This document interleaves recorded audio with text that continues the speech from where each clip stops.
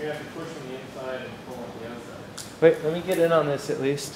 Yeah, Ryan has to get involved. Yeah, you guys do that. to- I'm- I've no You got the desire glider, to right? quickly get The down. mountain without this sport. See how hard that is? There it goes. Yahtzee. So there's the broken All right, edge. Let's go. It has to be two pieces with broken edges. That's why he's holding the nose. Well, you can do that afterwards. You wouldn't- After you release, release it from there, 'cause you don't want to squish the tang unless you have to. Okay.